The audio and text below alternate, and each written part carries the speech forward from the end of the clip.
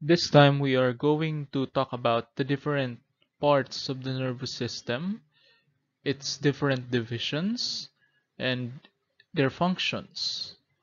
And what are the functions of the specific parts under the various divisions of the nervous system.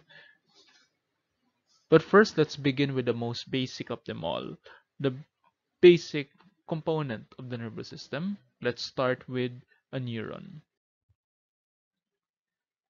So, as we learned from biology, a cell is considered as the basic unit of life. Here, we're going to learn about neurons. And neurons are like cells. However, neurons are mostly found in the nervous system. Okay, it's the building block of the nervous system. So it's defined as the basic cell that makes up the nervous system and that receives and sends messages within that system. Okay, so it performs two types of functions. It does not only send messages to other neurons, it also receives messages from other neurons. Okay, so basically there are billions of neurons in our body and their connections with each other allow us to understand, interpret, and act on certain information. So if you command your arm to move, basically your neurons are communicating with each other. If you see something like you're looking at your laptop right now, it means that your eye, the information that enters through your eye will travel through the neuron so that it will make its way to the brain. Okay, and then now, before we look at how neurons communicate with each other, let us first review the different parts of a neuron. Okay, so just like any cell in a body, a neuron is also composed of various parts. Okay, first let's talk about the dendrites. So as you can see in the image on the right part of your screen, dendrites are these parts that I'm encircling right now. Okay, so what is what are the what is the function of a dendrite? A dendrite is a branch-like structure of a neuron that receive messages from other neurons. So in order for a neuron to receive a message, the neuron make use of its dendrites. Okay, so it's how the information from another neuron enters the receiving neuron. Okay, and just like any cell in your body, neurons, they also have a cell body or a soma. Okay, so this is the cell body. It is responsible for maintaining the life of a cell. Okay, so just like cells, it contains a nucleus, mitochondria, etc. Okay, so after the dendrites and the soma, we're going to talk about other important parts. Now let's go to axon terminals. If dendrites receive messages from other neurons, axon terminals are enlarged ends of axonal branches of the neuron specialized for communication between cells. Okay, so this is the axon. Okay, as you can see, there are two neurons visible in this picture on the right side. So in the in neuron B, let's label this neuron A and this is neuron B. Neuron B, the cell body is right there at the back. This is the axon. And these are the axon terminals. So if dendrites are the ones receiving information from other neurons, axon terminals are the ones that are communicating to other neurons. Okay, so basically the information travels from the dendrite going to the axon. Okay, as you can see, the axon is made up of, it's like a long line and then it terminates on the axon terminals. Later we will have more about axon terminals. And these axons are covered by myelin sheaths. These are the myelin sheaths and researchers in neuropsychology discovered that these myelin sheaths enables the information to travel faster along the axon. Okay, so it makes it easier for the information to travel along the length of the axon. That's the function of the myelin sheath. Now, once the information reaches the end of the axon, it will reach the terminal buttons or the axon terminals. And let's have more about these. Now, here is another illustration of a neuron. So as you can see, this is cell body.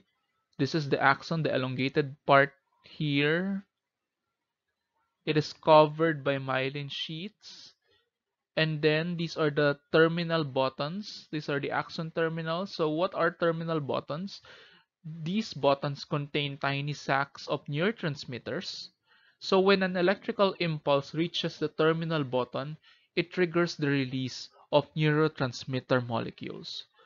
Okay, so I would like to highlight the word electrical here. So in other words, we discovered in neurology that inside or within a neuron, the, the activity is mainly electrical.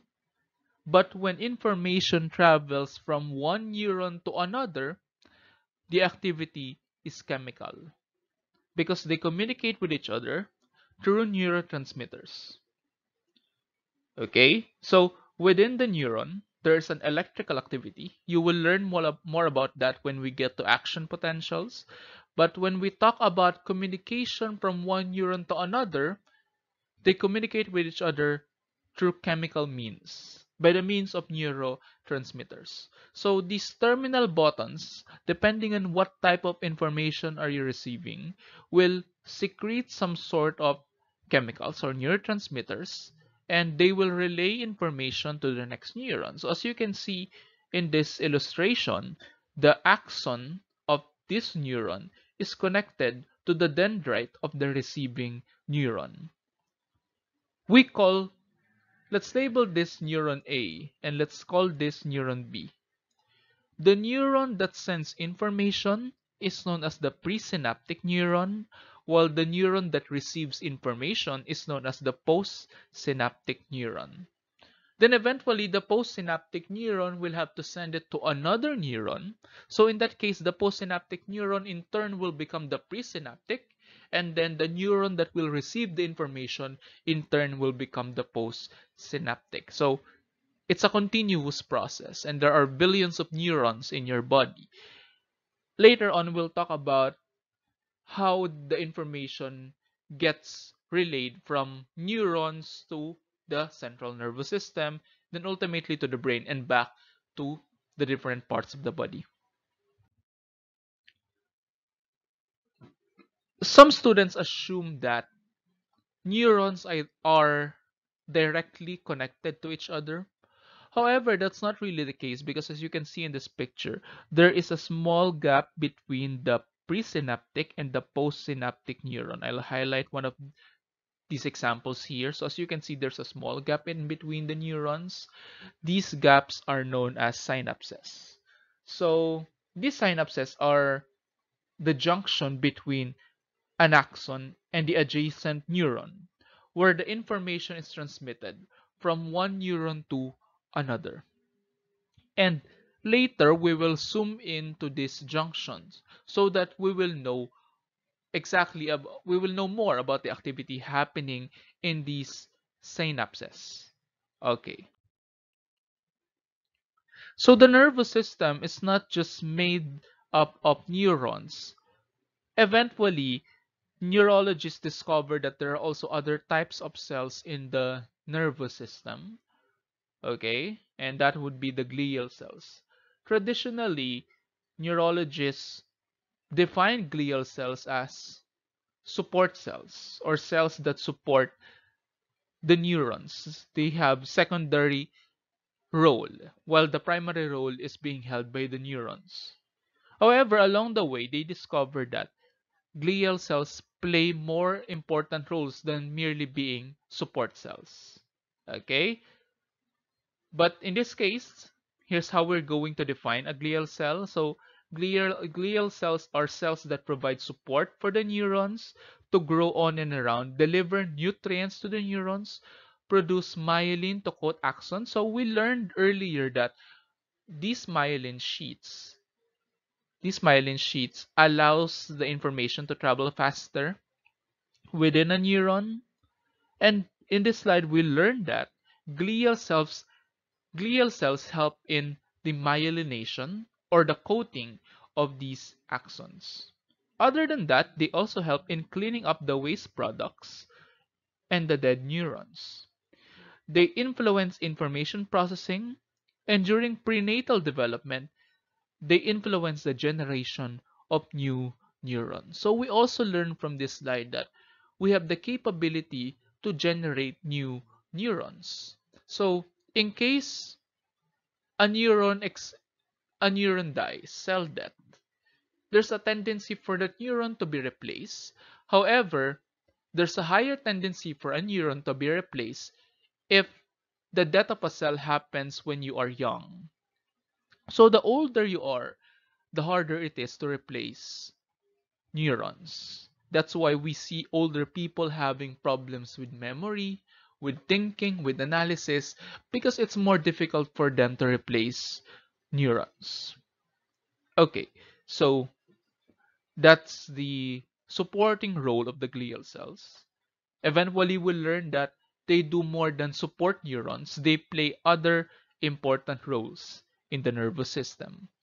Now that we know the different parts of a neuron, now let's talk about the different types of neurons present in our nervous system.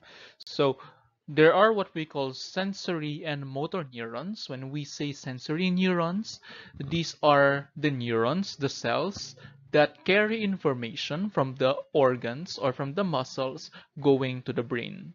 So they send information from organs to the brain so that it can be processed.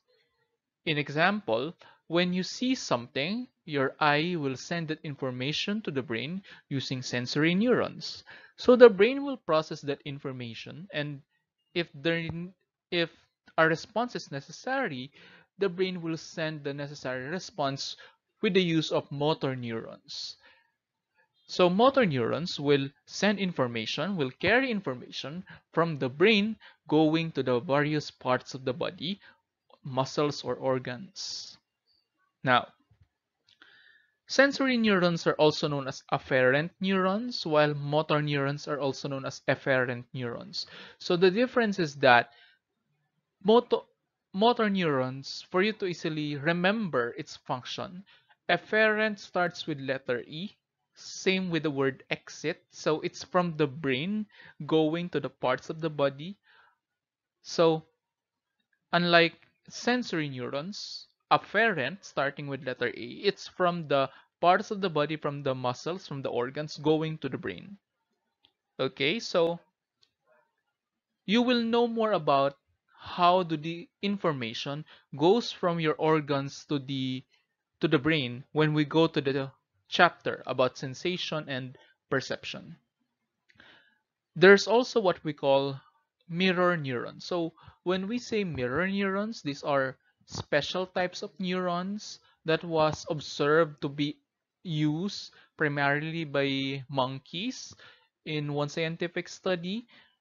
There are some evidences that humans may also be using mirror neurons. However, maybe not as concrete as the evidence found among monkeys. So mirror neurons are used whenever we are trying to learn or we are trying to imitate someone else. So this is a very important type of neuron whenever we are trying to learn something. In other words, let me use this example. You will know more about this when we talk about language and evolution. There was a study wherein a human tried to teach sign language to a monkey and then other monkeys in the area they were not being taught about sign language but along the way they also learned how to use sign language. How did they learn? They learned by observing the monkey receiving the information. And further analysis showed that the parts of the brain that works among observers is also the parts of the brain that is being activated in the monkey who is receiving the information from the teacher. So in other words, if you are trying to learn a skill the part of the brain active in the teacher might also be active in your brain. So even though you're not yet able to perform the behavior, we can see some sort of firing or activation in that part of the brain. That's why most of the time we try to observe first before we do the action. Okay, so it plays a lot of a lot of a huge role in learning and imitating others. They say that smiling is explained by mirror neurons because when we smile at each other, the same part of the brain gets activated. So that's how we connect with each other from the perspective of mirror neurons. Okay. I mentioned to you earlier that neurons communicate with each other in order to relay information. So one neuron will send information to another neuron until it reaches the brain. And it will also send information from the brain going to the organs or to the muscles. Now, neurons communicate with each other through what we call the action potential. So it is an electrical and chemical process wherein positively charged impulse moves one way down an axon. So since neurons are like cells, they are cells in the nervous system, just like any other cell in your body, the neurons contain fluid inside and outside. And they have electrically charged particles called ions. Okay, and let's know more about these ions in our neurons. So the most common ions or particles present around the neuron are positively charged sodium and potassium ions together with negatively charged chloride ions. So these particles go inside and outside the neuron through what we call channels or gates in the membrane. And the, mem the gates in the membrane allow allows the ions to move inside and outside the cell. So these gates give way to the ions. So when do they go inside and outside the cell membrane? Okay, so let's talk more about the action potential. Okay, so when you are not yet using a certain neuron in your body, for example, a certain part of your body is at rest, then it means that there's no need for that neuron to communicate a certain information. It's still resting. Okay, so for example, you're not minding your leg right now or you're not thinking about your toes right now, then we can say that the neurons in that part of your body is at rest. So when a neuron is at rest, okay, since there are fluid inside and outside the neuron or the cell, there's a difference in the charge inside and outside, and that is called as potential. Okay, and the difference potential between inside and outside the cell is at negative 70 millivolts. So it's negatively charged during the resting state. Okay, Specifically in the resting state, there is an excess negatively charged particles inside the axon of the neuron, whereas the fluid outside has a positive charge. Okay, so when does a neuron become positively charged? That's when the action potential happens. So let's take a look at this. So the action potential happens when there is an incoming impulse or in layman's term information. See, for example, somebody mentioned your name or somebody touched your shoulder. You feel ants or spiders in your body.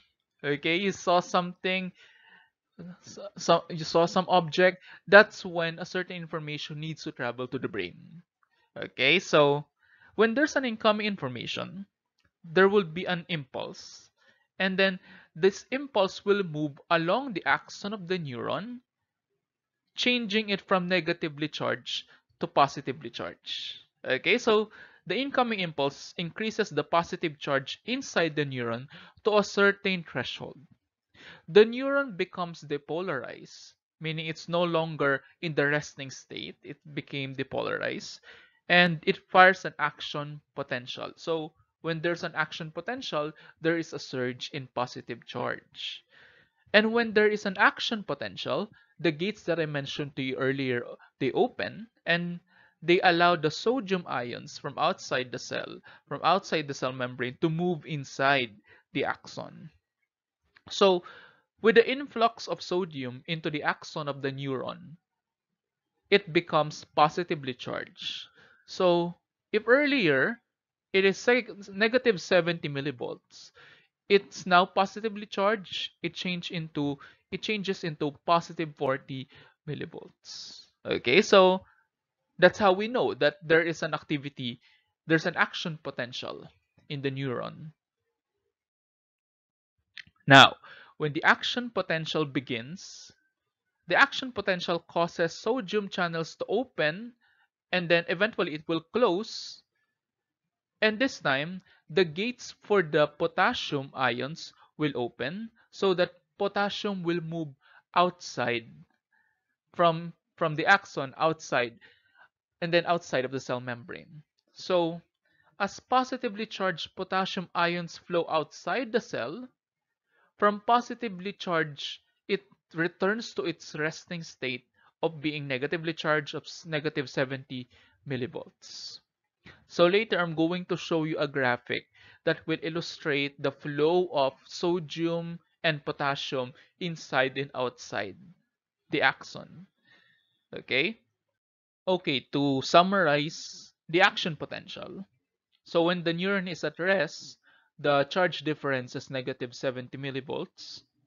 And then when there's an incoming information or impulse, it will cause an action potential. It will depolarize the neuron and then it will allow, the gates will allow sodium ions to enter and then sodium ions flood into the neuron and then the influx of positively charged sodium ions raises the membrane potential to positive 40 millivolts.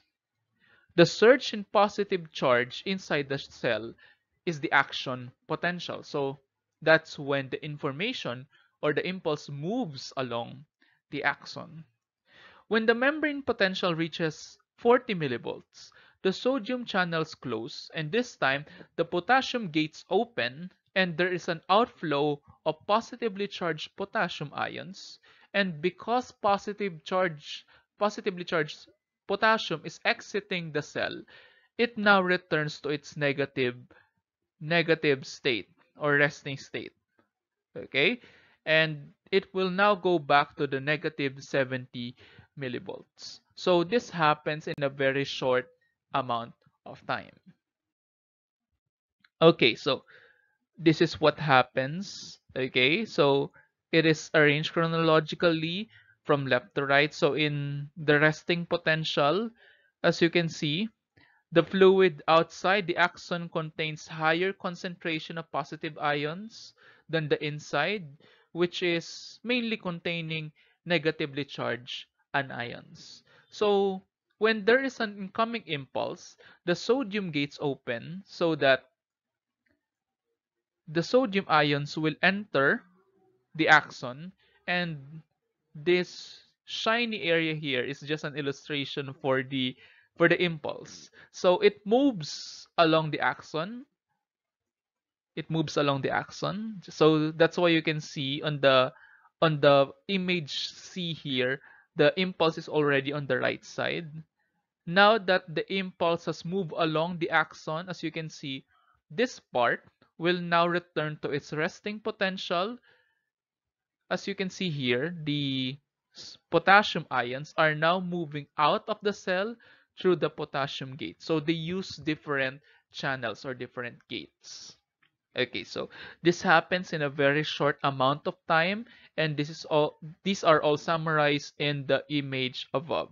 So everything began in the resting potential that's negative 70 millivolts when the positively charged ions flood the cell, it changes from negatively charged to positively charged. It became depolarized. And eventually, when that when the information moves along the axon, it goes back to its resting potential. There's a very short amount of time that a neuron will not be able to fire again because it just fired or an action potential just happened recently and we call that the refractory period okay now that you know what happens inside the neuron specifically inside the axon during an action potential. Now let's take a look at what happens between the presynaptic and the postsynaptic neurons. If you remember our discussion earlier they are not really connected to each other, but there's a small gap in between the presynaptic and the postsynaptic neuron, and these are synapses. So this is how the edge of a synapse looks like. So this is magnified in this image here. So these are the synaptic vesicles. These are tiny sacs in the terminal that contains chemical messengers or neurotransmitters. So it depends what kind of information enters. It will also, this information will determine what kind of neurotransmitter will be released or what kind of message will be sent to the receiving neuron. And later on, we will learn about the different neurotransmitters that are present in our body.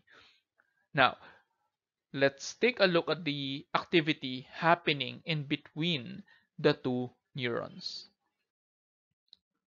So when the impulse reaches the end of the neuron, the neurotransmitters will be released to the receiving neuron. And just like a lock and a key, a certain neurotransmitter will look for a certain receptor. So if a neurotransmitter will not be compatible to that receptor, then that receptor will not accept that neurotransmitter.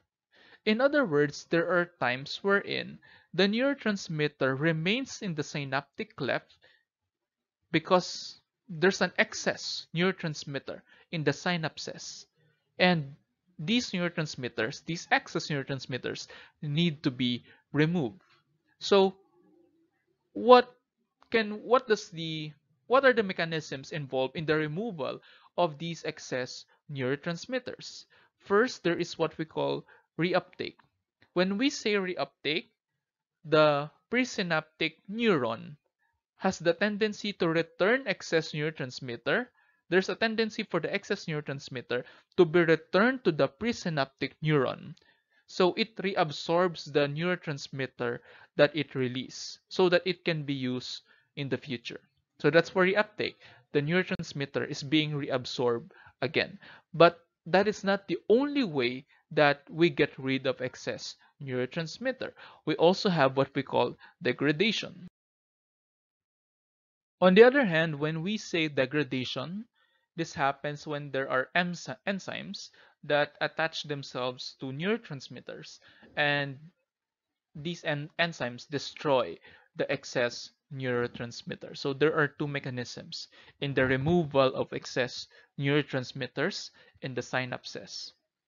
Now, it's time to look at the specific neurotransmitters that are present in our body. Okay, first we have here what we call acetylcholine. So when we say acetylcholine or ACTH, its main function is to slow the activity of the autonomic nervous system. So it's involved in eating, drinking, neuromuscular junction. Sometimes it's also involved in learning, memory, sleeping, and dreaming. What they say is that among people with Alzheimer's disease, they have low amounts of acetylcholine. Okay, so interventions among people with Alzheimer's may include acetylcholine um, interventions. Next, this is familiar to most of us, dopamine. So dopamine plays a very important role in arousal, mood, specifically positive mood, and voluntary muscle control. Sometimes there, there is a hypothesis saying that when there is too much dopamine in our body, it may be a predictor of schizophrenia. That's why there are some people with schizophrenia who are being treated by drugs that block the activity of dopamine. Okay, so to reduce the amount of dopamine in their body. Next, we have here what we call epinephrine. So if you're English, you're going to call this adrenaline. So adrenaline is being used or epinephrine is being is its main function is to increase the activity of the autonomic nervous system. So it's involved in what we call the fight or flight response. So whenever you are stressed, there's an emergency, there's an adrenaline rush, or there is a your body makes use of these chemical messengers to be more active, to respond in a certain way, whether to fight the threat or to flee from the situation. Next, we have here what we call norepinephrine or noradrenaline. So it affects the activity of the central nervous system. It's important in alertness and attention. Next here we have what we call serotonin. So serotonin plays a huge role in regulation. Particularly, it regulates mood, it helps in sleep, eating, etc. So there are some the biological explanation for anxiety and depression is that there's a low supply of serotonin in their body so what antidepressants do is that they block the reuptake of serotonin in other words there are certain drugs that prevent reuptake so that there will be no undersupply of a certain neurotransmitter okay so if the drug will block the reuptake of serotonin, then there will be no undersupply.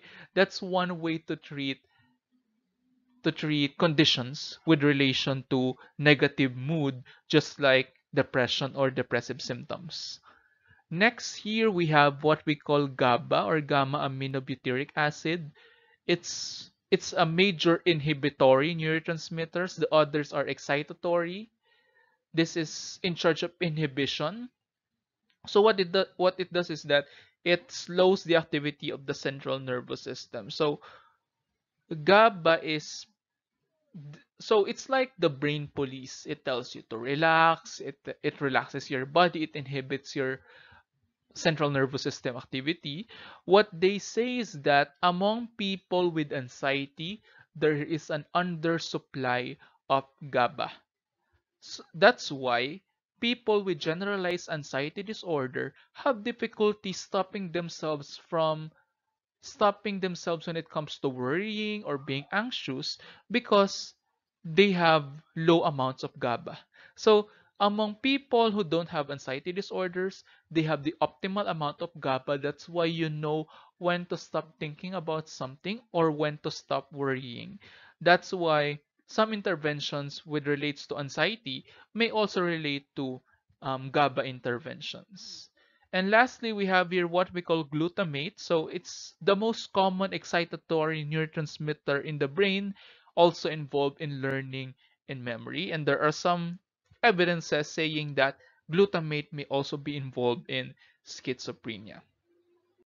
Okay, so it's time to recap what we have talked about so the brain is composed of neurons and glial cells. So like what I mentioned to you before, scientists used to consider glial cells as support structure, but along the way they realized that glial cells play other important roles than merely being support. So there are two types of glial cells according to neuroscience, which are oligodendrocytes, so and Schwann cells Oligodendrocytes are present in the CNS, while Schwann cells are present in the peripheral nervous system. Later, we'll talk about the divisions of the nervous system. Okay, so again, they're responsible in myelination and myelin sheaths insulates axons. In other words, they speed up the transmission of the neural message along the axon. Again, what are neurons? So Neurons are specialized cells in the nervous system that receive and sends messages within that system. So they have components such as the dendrites receiving for receiving information, the soma or the cell body, and the axon where the information goes along or the impulse goes along. and the axon has what we call axon terminals and the axon terminals are this is where we can find the axon terminals is where the the neuron ends and between the presynaptic and postsynaptic neuron there's a synapse. There's a gap called the synapse where nerve impulses reaches axon terminals and they release neurotransmitter into the synaptic space. Okay? And neurons have an electrical charge at rest. Um, it's called the resting potential. But when there is an information coming in okay there is an influx of sodium into the cell allowing the action potential to happen or the neural firing to happen. Okay? So that is it for our summary about neurons and neural activity in the nervous system. Now that we are done talking about the neuron or the building block of the nervous system, let's discuss the divisions of the nervous system. So let's see here. The nervous system is primarily divided into two major divisions, the central and the peripheral nervous system. So the central nervous system are composed of the brain and the spinal cord. The role of the brain is to interpret and store information as well as sending signals to muscles, glands, and organs. On the other hand, the spinal cord is the pathway or the bridge connecting the central nervous system and the peripheral nervous system. Now, the peripheral nervous system is in charge of transmitting or transporting information to and from the central nervous system. And the peripheral nervous system has two major divisions, autonomic and somatic. Earlier, we have discussed, we have somehow discussed the somatic nervous system and the somatic nervous system is in charge of carrying sensory information and controlling movement of the skeletal muscles. So when we say sensory system, this is the system in charge of carrying information from the senses to the brain. On the other hand, motor system is in charge of carrying the information from the central nervous system to the various parts of the body such as muscles and glands. On the other hand, when we say autonomic nervous system, this is in charge of automatically regulating glands, internal organs, blood vessels, pupil dilation, digestion, blood pressure, and other automatic processes happening in our body. So this is divided into two divisions, parasympathetic and sympathetic division. When we say parasympathetic division of the nervous system, this is in charge of our day-to-day -day ordinary functions. Okay? On the other hand, the sympathetic division becomes active when we are in a threatening situation, such as situations that calls for a fight or flight response. So it prepares the body to react and expend energy in times of stress.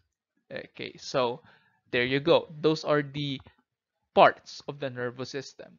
In this lecture, we are going to specifically take a look at the major parts of the brain and their various functions.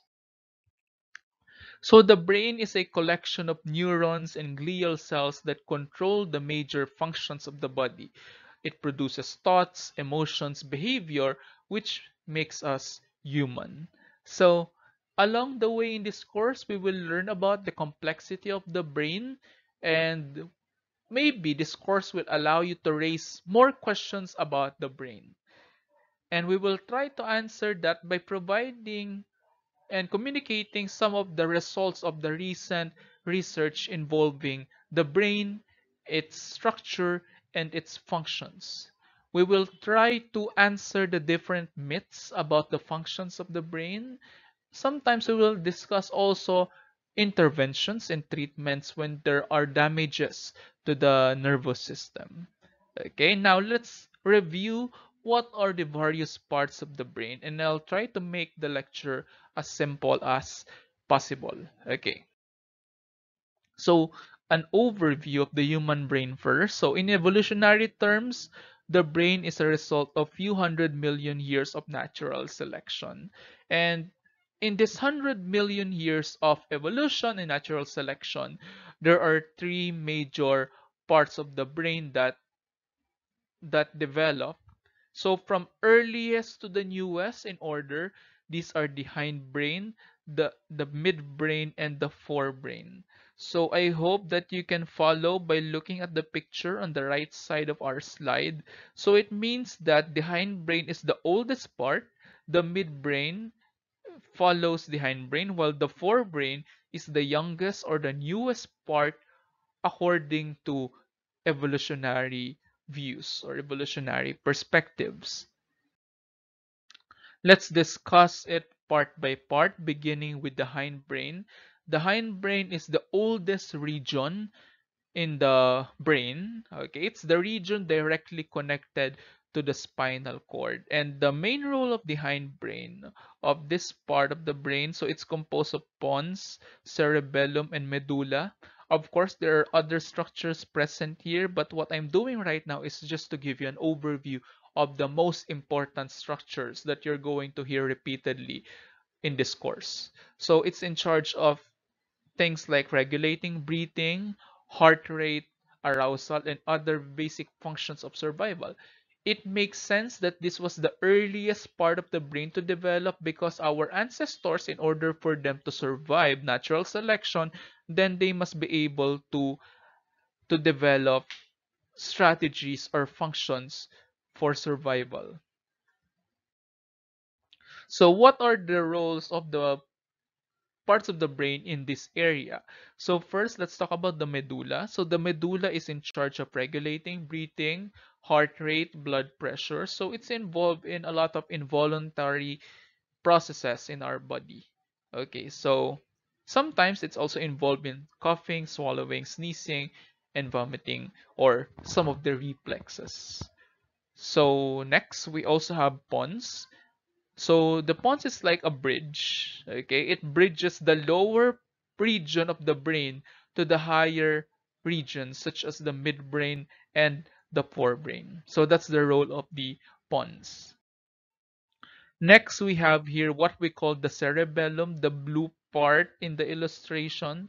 So it's also known as the little brain and trivia. The cerebellum contains more neurons than any other single part of the brain. And what is the role of cerebellum? It's in charge for movement, balance, coordination, and fine motor skills. So do you think this is important when we are trying to learn, for example, biking? For example, when you first learned how to walk. Course, this is an important part. So it's mainly in charge of body movement, balance, coordination. So some researchers in biopsychology would say that the cerebellum is also important in the formation of certain habits. So it's also involved in learning, particularly when the learning is about is related to movement.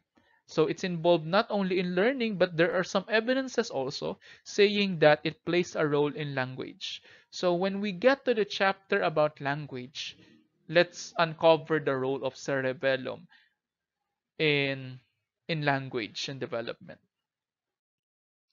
So now we are done with the oldest part of the brain. Let's go to the midbrain. So the midbrain, as you can see, it's the smallest in the three major divisions that I presented to you. And it's in charge of voluntary muscle movement, voluntary movement. And sometimes it's they say that it control our eye muscles.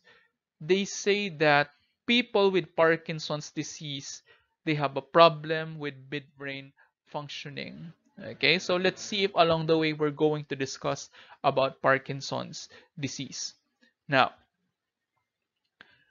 if you remember earlier in our discussion, we said that people with schizophrenia have excess or too much dopamine in their body.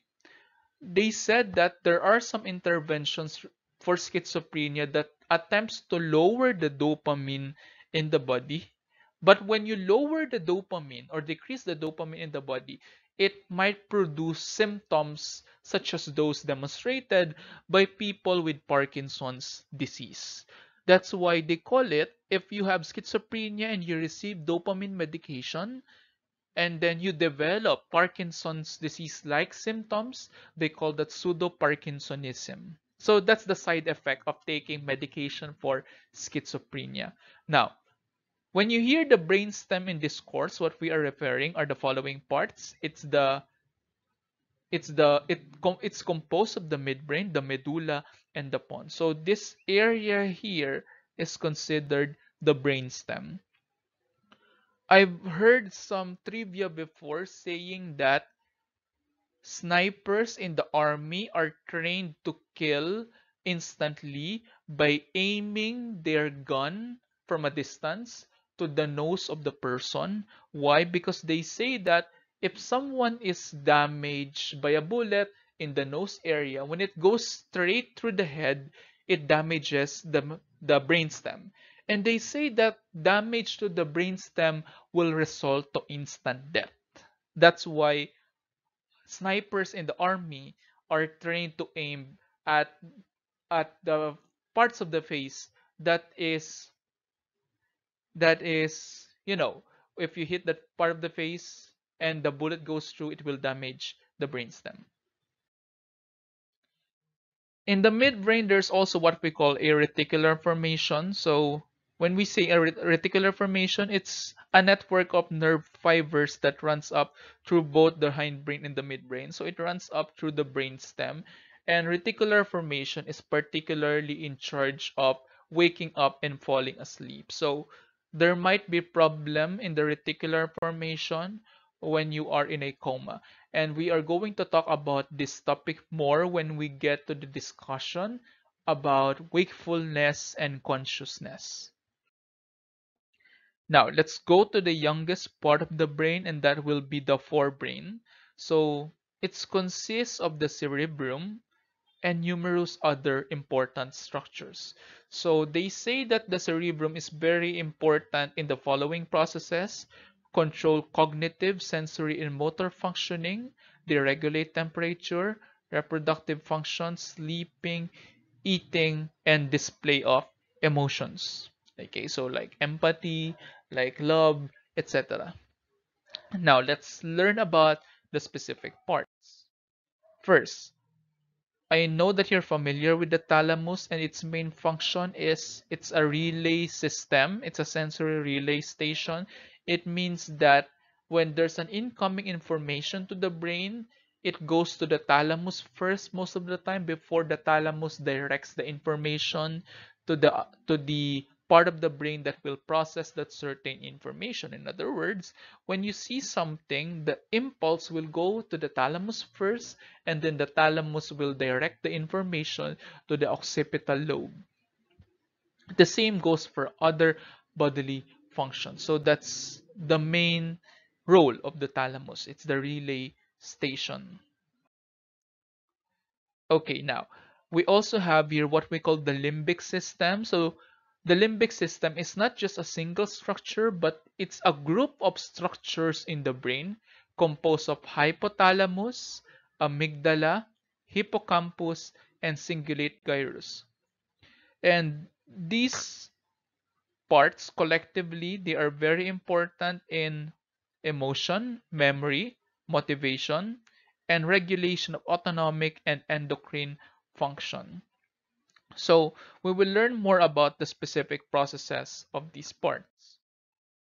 First, so I switched the image so that we will have a closer look on the parts of the limbic system.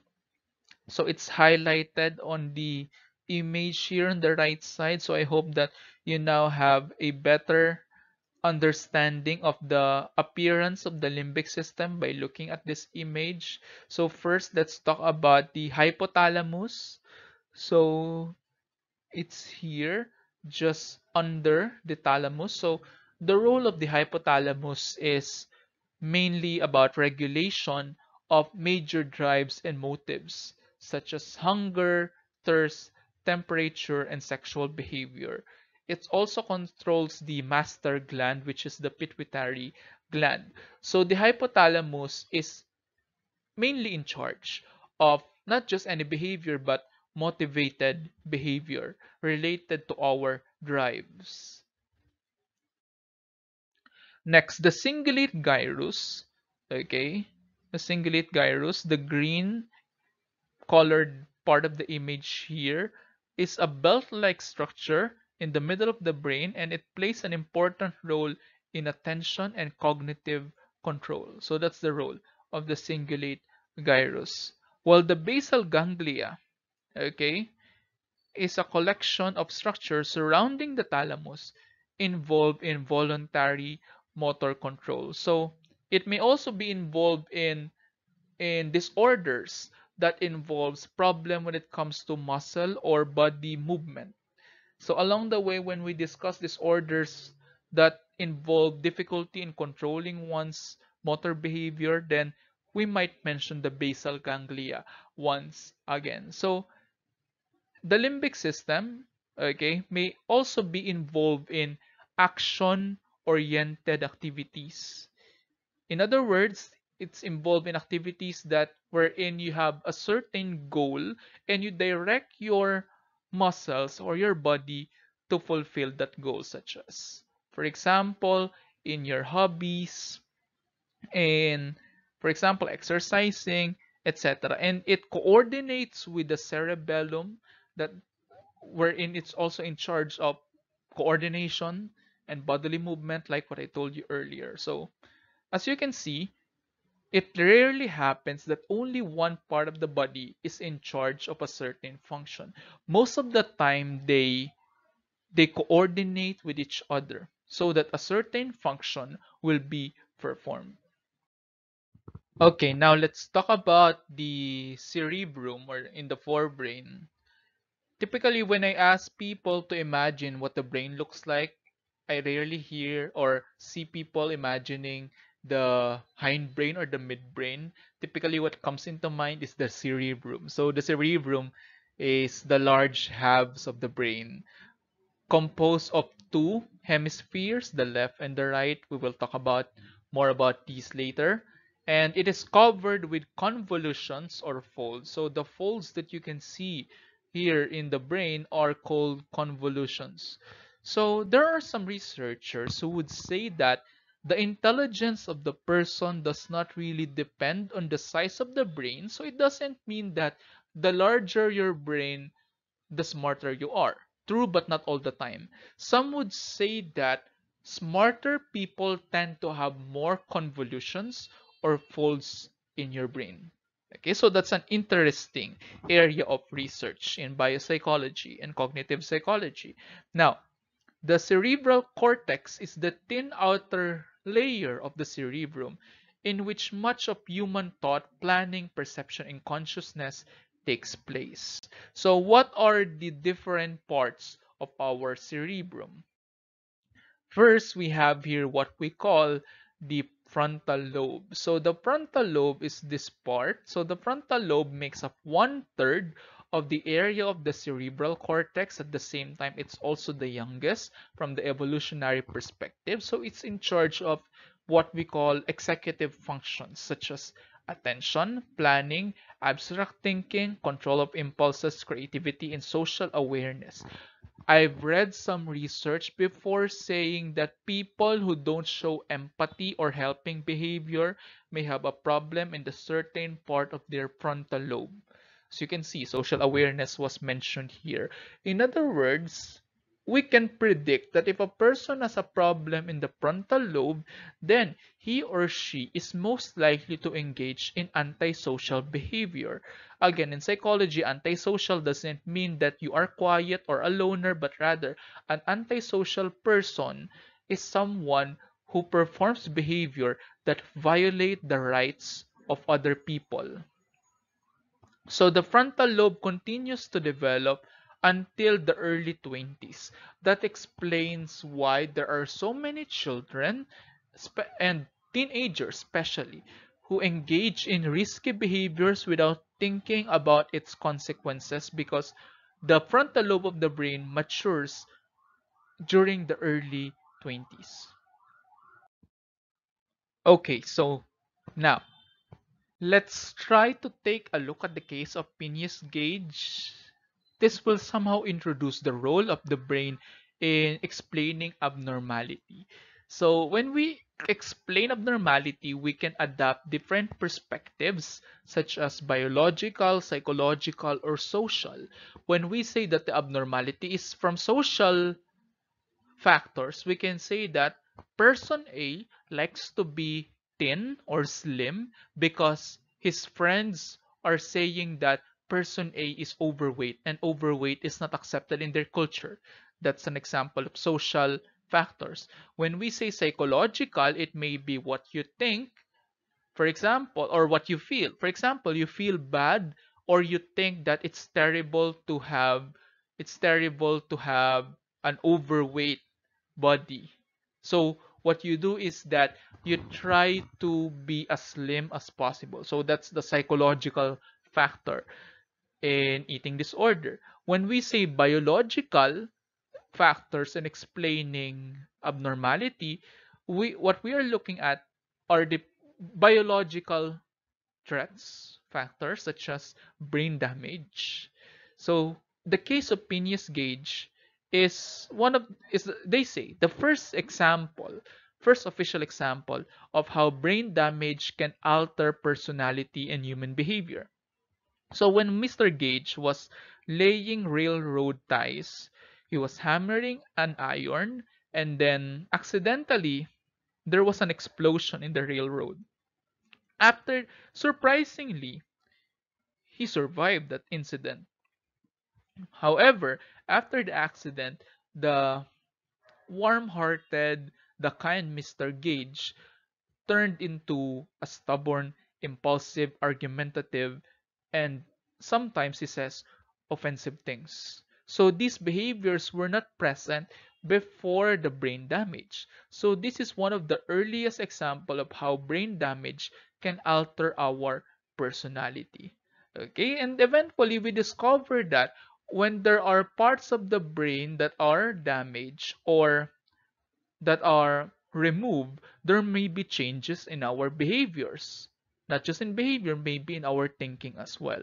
For example, um, earlier I mentioned to you the limbic system, and one important part of the limbic system is the amygdala.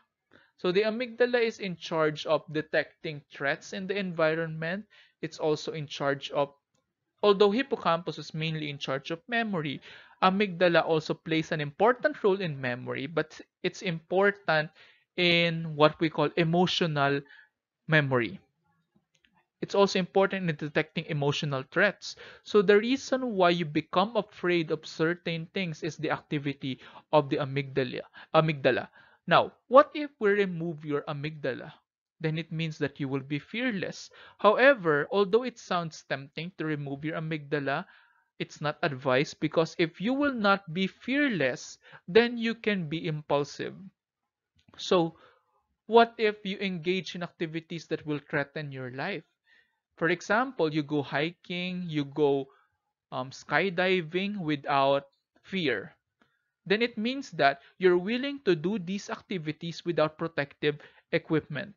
Okay, so that shows that removal or damage to the certain parts of the brain may also impact may also affect changes in our personality, decision making, thinking, cognition, memory, etc. Okay, now, so let us jump from the frontal lobe to other lobes of the brain. So one of the best way to make this change in topic is by discussing the primary motor cortex and the primary somatosensory cortex. So as you can see, the somatosensory cortex is no longer in, in the frontal lobe. It is, it is in the parietal lobe, but it is adjacent to the motor cortex, which is in the frontal lobe. Okay, so this area right here on the left this is the motor cortex, okay? While this one here, the blue area, is the somatosensory cortex. So what is the role that these two parts of the brain play? Why are they adjacent to each other? Before I continue that discussion, first, let's try to know what is the main role of the parietal lobe. So the parietal lobe is the section in the top rear part of the brain. It is it is important in sensation and perception of touch. See, for example, a stranger grab your arm, therefore there will be an action potential going to the spinal cord, then going to the brain, and then the brain um, specifically it, the information will go to the thalamus and the thalamus will relay the information to the parietal lobe. Now, it will activate your somatosensory cortex and later on we will understand why is it why it is adjacent to the motor cortex. Okay, so earlier I introduced the motor cortex to you. Now let's take a look at the somatosensory cortex. So it's a strip of parietal lobe involved in processing information, processing and perception of sensory information from the body, especially temperature, touch, pressure, and pain. In other words, take a look at the next slide. Okay, so now what's the connection between the somatosensory cortex and the motor cortex? So we understood that from the other slide that when we receive information from our senses, they go to the somatosensory cortex. So the part of the cortex responsible for that part of the body can be seen in this image here on the right side. So as you can see, the top part of the cortex is responsible for the hip, this one's responsible for the arm, etc. So what you can see here is the arrow is going to the cortex, which means that it is from the various parts of the body to the thalamus, then to the cortex, meaning it's sensory. On the other hand, the motor cortex is from the cortex going to the lower parts of the brain, ultimately to the spinal cord, and then to the peripheral nervous system. So as you can see, these parts are side by side in our image here on the top part, meaning that they are adjacent to each other it means that the part of the brain involved in in detecting the movements or the pressure in the hand is also adjacent to the part of the brain which will tell the hand what needs to be done. For easier communication between the parietal lobe, between the somatosensory cortex and the motor cortex. That's why they are adjacent to each other. Now you will notice that there are certain body parts that looks exaggerated in the image here. Why is the hand bigger than the torso? And why is the head bigger than other parts like the arm? What they're saying is that these enlarged parts represent more sensitive areas in the brain. That's why when somebody or something touches your hand, you are suddenly aware about it. Now imagine this scenario. What if there are ants or there are insects in your in your knee or below the knee? We are not so aware about it because the parts of the brain in charge of the sensory information in these areas are not so sensitive sensitive to the incoming information. Okay? So th that explains the differences in the sizes in the representation in this image. Okay, so other than the parietal and the frontal lobe, now let's talk about the temporal lobe. So its main function is primarily um, in sound inform processing sound information that arrives from the thalamus and it processes that sound information. Now there are some research saying that it is not only involved with sounds it is also involved when it comes to identifying objects. So it cooperates with the vision and you will learn more about that when we get to the topic. We will somehow have a free view about the topic when we go to Wernicke's area and Broca's area. So what are those areas? Let's see that. The Broca's area, okay, is the area in the brain in the left frontal lobe responsible for speech production. Okay, so damage in the Broca's area may explain difficulty in speaking. Well, if this area was discovered by Paul Broca in his autopsy of certain patients with difficulty in speaking.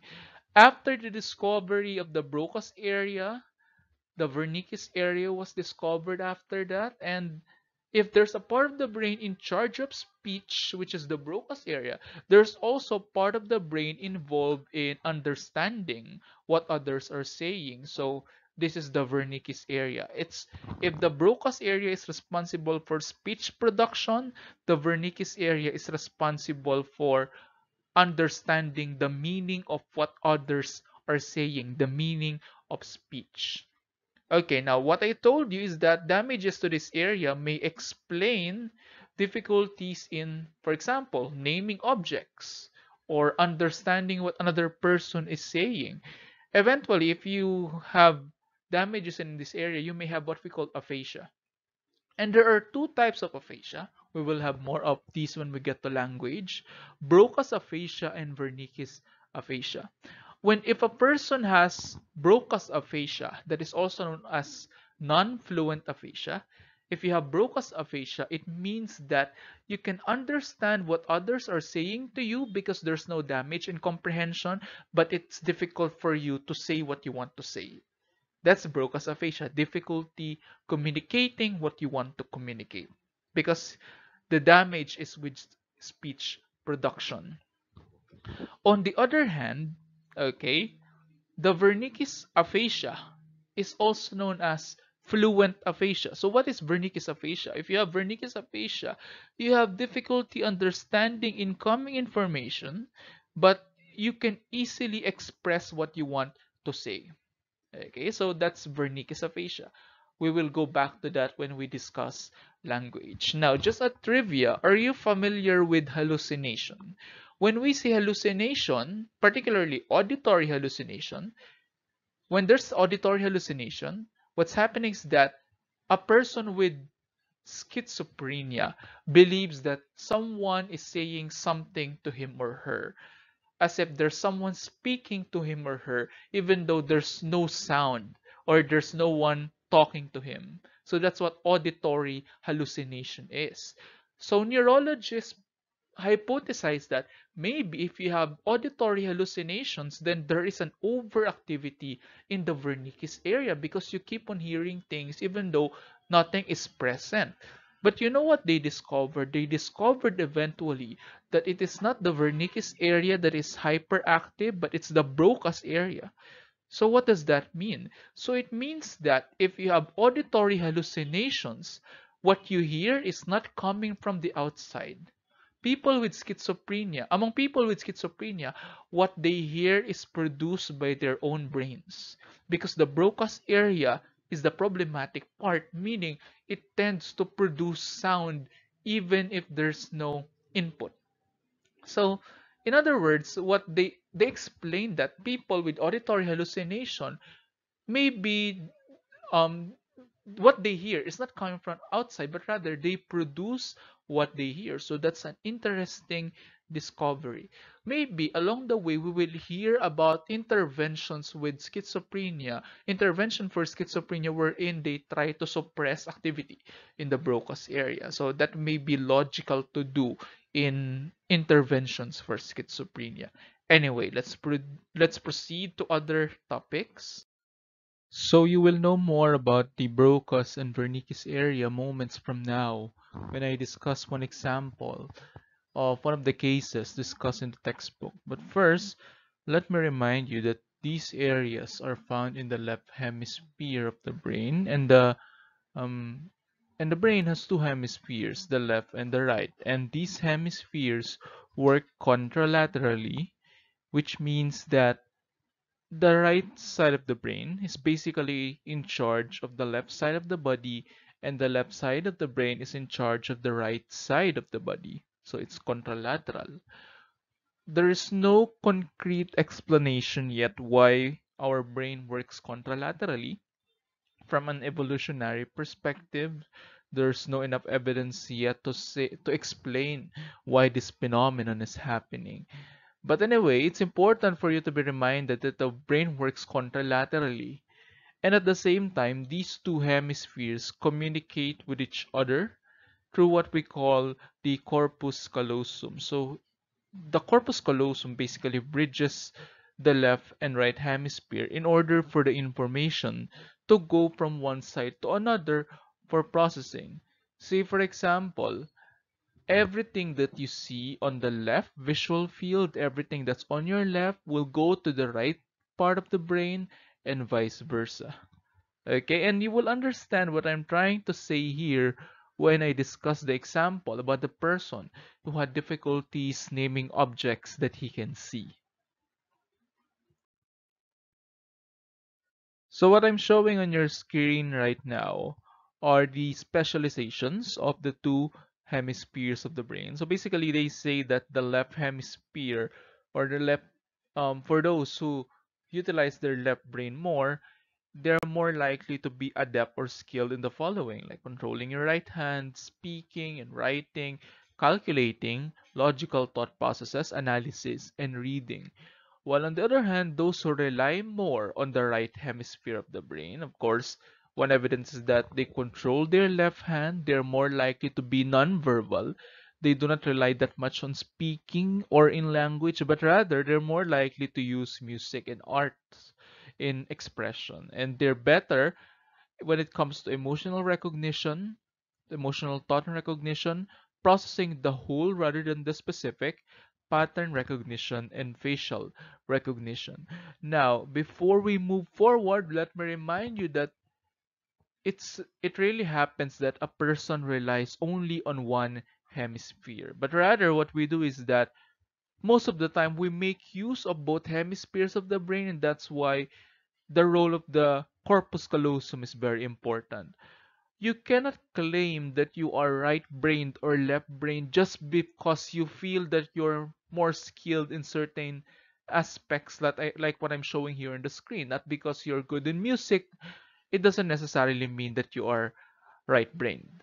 Okay, so that's one of the common misconceptions in psychology. So what you need to do is that the um this is one of the from the neurological perspective what they advise is that if you really want to know which part of the brain or which hemisphere is more dominant do not look at these scales but rather you need to undergo functional MRI in order for you to see which of the two hemispheres of the brain is more active all right so that is it for the two hemispheres of the brain so during the 1960s, there was this prisoner who kept on experiencing epileptic seizures after a failed parachute jump. Now, there are some evidences during that time that if the bundle of nerves between the two hemispheres or the corpus callosum will be will be removed, then it will also stop the epileptic seizures. However, nowadays it is no longer advisable to do. Why? Because look what happened to this man. After his corpus callosum was removed, he did not experience any epileptic seizure anymore. However, another problem has emerged.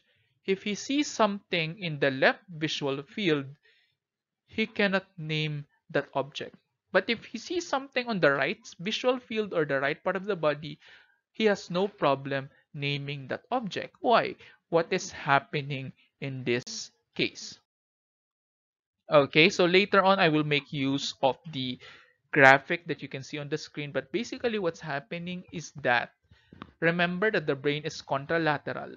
Remember that Wernicke's and Broca's area, Broca's is for speech production and Wernicke's is for comprehension. So what happened with this person?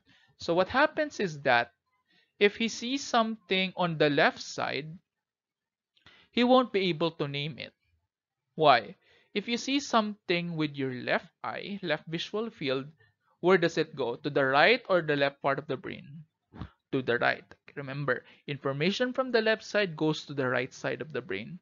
But the part of the brain in charge of naming these objects are on the left. Meaning the information cannot cross to the left part of the brain. That's why he cannot name these objects. Okay, so let's look at the graphic that you can see in the in the slide right now. In picture A, a person who had an operation to cut the corpus callosum is shown an object, specifically a hairbrush, to his left visual field. In B, okay, when asked what did he see, he said, I don't know. Because the language production area is on the left part, just like what I explained to you earlier. Okay? However, when he was asked by the examiner, can you get the object that you see? Okay, can you use your left hand to get that object in front of you? You must get the object that is similar to what you saw on the screen. He was able to do it.